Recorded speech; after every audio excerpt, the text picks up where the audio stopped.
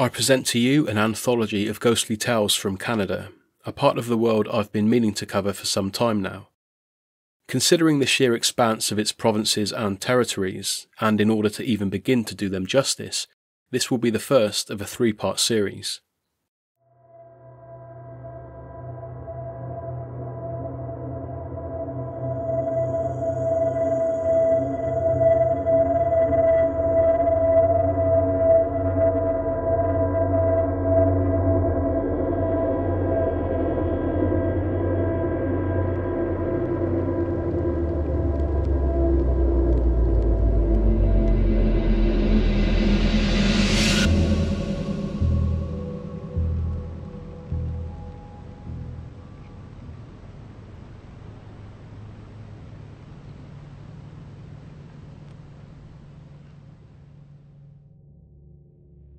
There have been numerous accounts given over the years regarding apparitions beckoning would be victims of tragedy away from their likely demise. One example of this would be the story of fallen aircraft pilot Eddie McKellar, whom in 1950 was allegedly saved from the scorching outback of Western Australia by the ghostly vision of an Australian Air Force pilot. A story I featured in my 2020 video, Tales of the Paranormal 2. So, from the blistering heat of the Australian outback to the frigid winter landscape of southern Quebec. Here is a story told in my own words and based on an account given by a 19th century lumber merchant.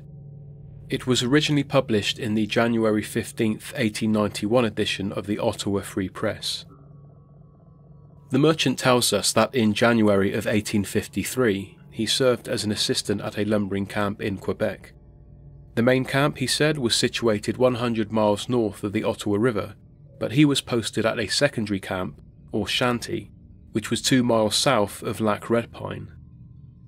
To the north of the lake was another smaller lumber camp known as Crooked Creek. A road said to be about 20 miles long ran between the two camps, including a trail across the frozen lake itself. The merchant was given the task of passing on some instructions to the foreman of the Crooked Creek camp by his chief, a man named Simpson. The merchant said it was a bright clear day as he took to the road for the long hike, and he made good time, arriving at the smaller base as the men were returning from work, their axes placed over their shoulders. He spent the night at Crooked Creek, passing on his instructions to the foreman the next morning and leaving at around 10 o'clock. He said he must have reached the halfway point when a snowstorm set in. By the time he had reached Lac Red Pine for the last leg of his journey, the trail over the lake was completely covered in snow. It was falling heavily by now and visibility was poor. However, our unnamed protagonist felt confident that he knew the trail well enough, so he pressed on. He'd only gone a short distance when the snowfall became so thick that he couldn't see the shore from any direction. It was also getting dark and exceedingly cold. Managing to return to the north shore, he pondered his options. If he stayed where he was, he thought, he'd freeze to death. He feared that if he tried to return to the Crooked Creek camp and got stuck on the main road, he'd be eaten by wolves. As he stood at the shore, considering what few options he had, he said he looked out over the blizzard stricken lake to see a man dressed in grey beckoning him forward. Thinking that his foreman, Mr. Simpson, had sent out a worker to find him, he staggered forward building up to a run out of desperation as the grey man became increasingly obstructed by the blizzard. He called out to him to wait, but the stranger walked on, eventually disappearing from view. The merchant says that he stood in a state of despair as he looked around him before the man appeared once again. He was not stopping though. The merchant thought that he was either expressing his displeasure at being sent out on such a dangerous errand or simply trying to minimize his own chances of perishing in the storm. Finally, the stranger stopped, turned to the merchant, and pointed into the woods. He then continued on himself for a short distance before being completely concealed by the falling snow. By the time our storyteller had reached the shore, his saviour was nowhere to be seen. When he arrived at the lumber camp, he asked Mr. Simpson who he had sent out to rescue him. Why didn't he stop and wait? And why didn't he bring a sleigh? Simpson explained that he and all of the other men had assumed that he'd turned back to Crooked Creek after the blizzard hit. No rescue mission had been ordered, and no one expected to see him back for several hours. After relaying his experience to everyone at the camp, the merchant concluded that his saviour had not been of flesh and blood.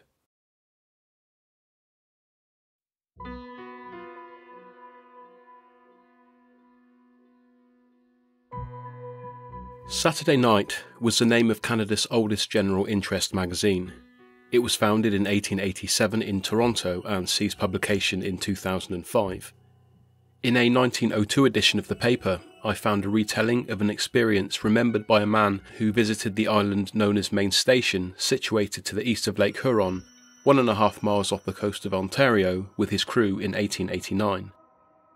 The story says that after arriving on the island, the crew came across a stone structure which was thought to have sheltered US soldiers during the War of 1812. The shelter was divided into two compartments, each one had a fireplace.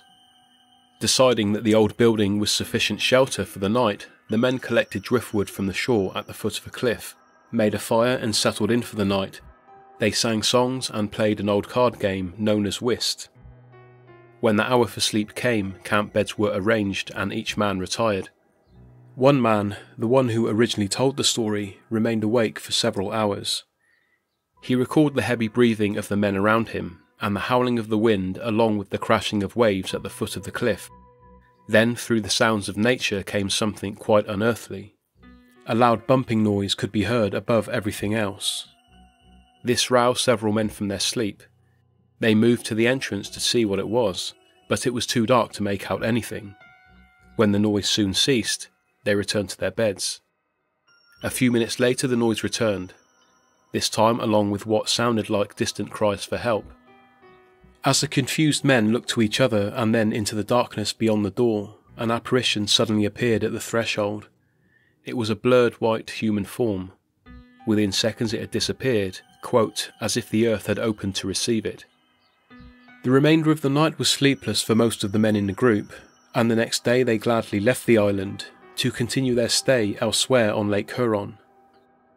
In 1902, according to the Saturday Night publication, many human bones were found in and around the building, and deep in the earth surrounding it, solid brass cannons and other 19th century weaponry were uncovered. When looking into the story and trying to find out more about the stone structure, I found these old images of a brick building this image was taken on Main Station Island in 1935 by one Alice Jane Corrigan of the Corrigan family, a well known family of bakers who owned a shop in nearby Wiarton in the 1920s. A copy of the photograph is held at the Bruce Museum and the Cultural Centre in Southampton, Ontario, and is simply titled Ruins of an Old Building. This postcard of the same structure is marked HB Co., which denotes the Hudson Bay Company a former Anglo Canadian but now American owned retail business founded in the 17th century. Could this be the same ruin where our crew of men in 1889 were faced with a phantom in the dead of night?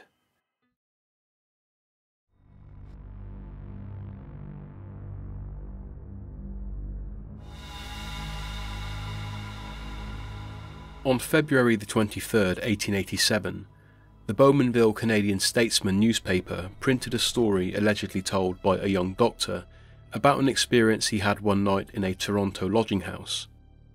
It was early in his medical career, he tells us, a time when he also worked for a book subscription service, and he was in the city that day collecting payment from customers.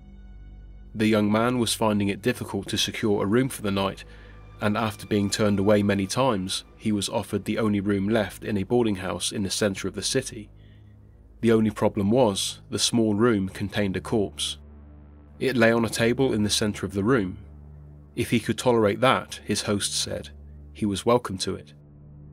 Well, it was late, and there was no other option for the man unless he wanted to spend the night on the cold streets of Toronto. As he reluctantly took to his bed, he heard a door open towards the back of the building, someone enter, and then whispering in the hallway outside his room. His thoughts then turned to the considerable amount of money he had on him from the day's collections, and the fact that he had failed to hide the roll of bills as he paid for his board. He'd also had his candle taken from him when he retired for the night. Was this a strategic ploy by corrupt landlords to rid him of light? As he lingered on these thoughts, his blood froze as hoarse whispers came from the centre of the room. Come here, the voice said.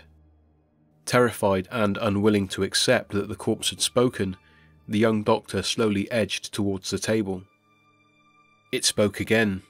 Look out, they are after your money, and they may murder you. They are capable of it. Now at his wits' end, the doctor felt his way through the darkness to the only window in the room, and found it couldn't be opened. He waited in the shadows. Then came the creaking of floorboards in the hallway before the door began to slowly open. A figure then burst in and plunged what looked like a blade into the empty bed. With that, the doctor threw himself through the pane of glass into the cold night air. He survived to tell his tale, of course, but there was a glaring matter that he pondered on. Was the messenger really dead? Had he been at death's door with just enough life remaining to deliver the message, or had he spoken those words from beyond the grave?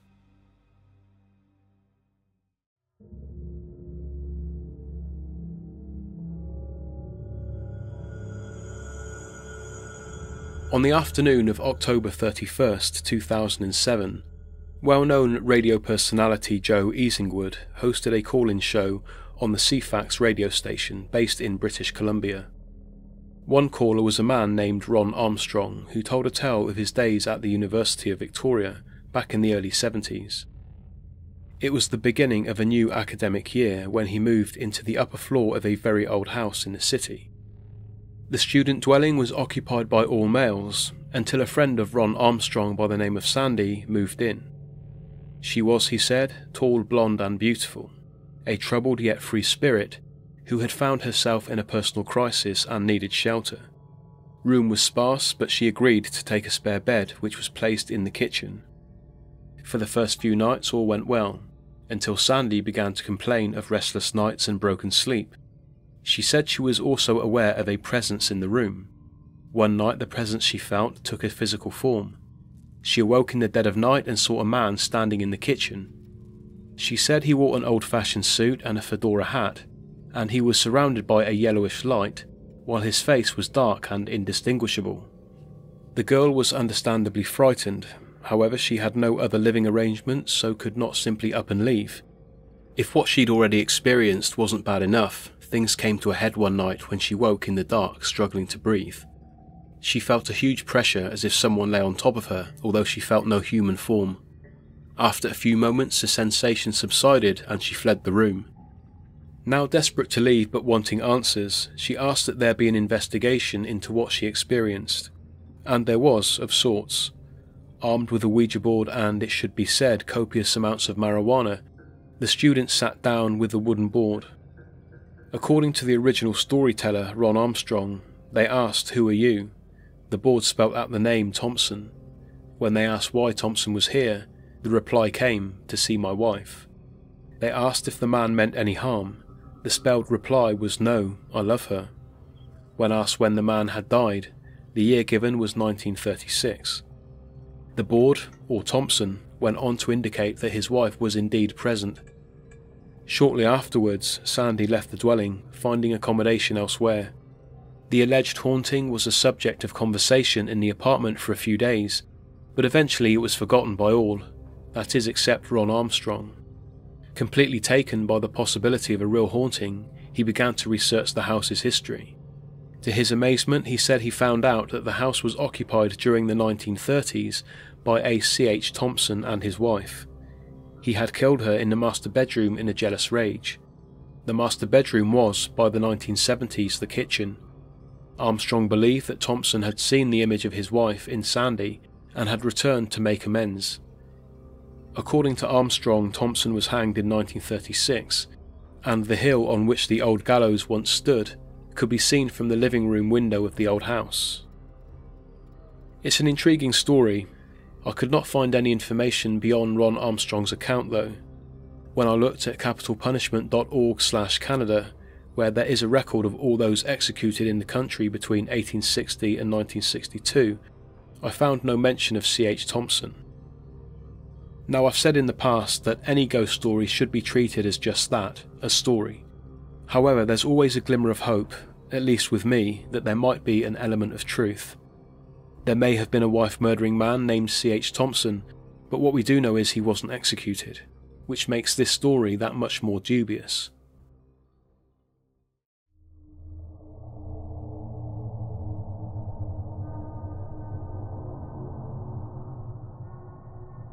Thirty-six-year-old Victor Raymond Gravlin had been a sports writer for Victoria's colonist newspaper. When he lost that position in 1934, he turned to alcohol for solace some say that this was what ultimately ruined his marriage. By September of 1936, he and his wife, 30 year old Doris Gravlin, had been living separately for 18 months. Since their separation, Doris had worked as a private nurse and cared for a woman named Kathleen Richardson in Oak Bay. According to Victor's parents, he was hoping for a reconciliation, and this is what led him to call Doris on the afternoon of September 22nd. She agreed to meet Victor at Victoria's Oak Bay Golf Club, a place they'd often visited during happier times. What they discussed during that walk around the golf club is not known, but following their meeting, both Victor and Doris disappeared. When their respective families reported them missing on September the 24th, the only ominous piece of information they had was that at 9pm on the night they met, a resident living close by reported hearing a loud scream coming from the golf course. Five days passed. Then on September 27th, a golf caddy named John Johnson saw what he believed to be a dead body on the beach close to the seventh green. On the shore, partially submerged in sand and partially covered by wooden logs, was the body of Doris Gravlin. Her cause of death was given as asphyxiation from strangling. Victor Gravlin was immediately suspected of murdering his ex wife, and a manhunt was launched. The Winnipeg Free Press, dated October 22, 1936, states that Gravlin was believed to have been heading east towards Winnipeg on board a freight train.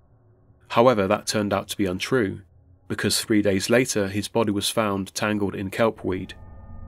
Many secondary sources claim that the hat and shoes Doris wore the night she met Victor were found inside the coat he wore when he was retrieved from the water.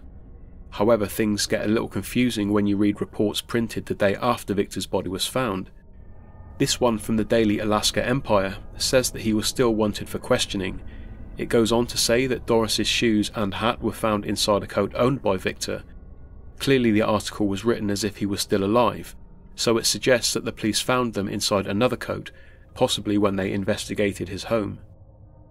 Whatever the true scenario may have been, the case was recorded as a murder suicide, and the belief is that Victor drowned himself after killing Doris.